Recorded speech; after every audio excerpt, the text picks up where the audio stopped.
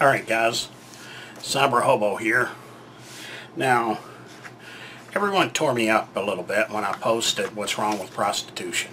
Now, I wasn't trying to defend it in any way. You know, we're looking at the, the moral implications uh, more so than, you know, I look at it like, it, you know, if a woman wants to give it up and a man wants to buy it, I don't personally see anything wrong with that. I think it should be legal. But I got a lot of little comments, you know, and rip me up, you know, oh, you're immoral, you're this, you're that. Okay. It's not what I intended, but hey, you know, that's probably what I meant. Um, got a lot of backlash. Um, it is being unfaithful when you're married, and I'll agree with that, you know. It's between a man and a woman, and it is un, it's adultery, you know, it's unfaithful to your wife. It's not fair. But, you know, if your wife's not giving up anything and, you know, sexually satisfying you, and I'm not talking just, oh, I only get it once a month or I only get it once every six months. You know, it's, it's you know, you're just not satisfied. Now, whether it's a woman or man, I mean, this goes either way. So I, I, think it's part of a marriage that you keep you know each other satisfied sexually. Um, you know, it's the way it is. So, you know, if, if you're not getting enough, you know, sex and you're not giving her, you know, enough sex, then, uh, you know, what are you going to do? I mean, that's the bottom line. What are you going to do? You're going to remain frustrated, upset, you know, irritable, mean, you know the people I'm talking about, don't you?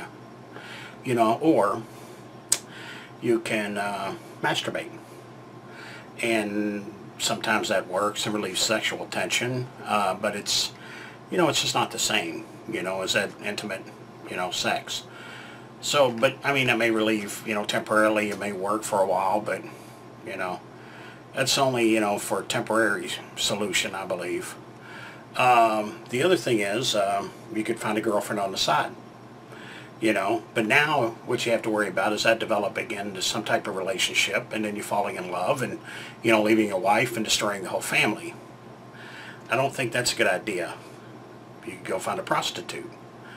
Now, you pay X amount of dollars, you know, for whatever device you want, whether it's a blow job or, you know, vaginal. Um, and you're happy. You give her money, she gives you sex, you know, you lose your load and you're happy as hell. You go home with your wife, you're happy again, the relationship's good, everything's perfect. All right, so anyway, to me, when you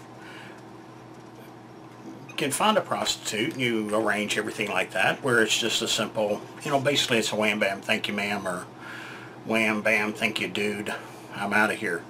You know, it's it satisfies both men and women.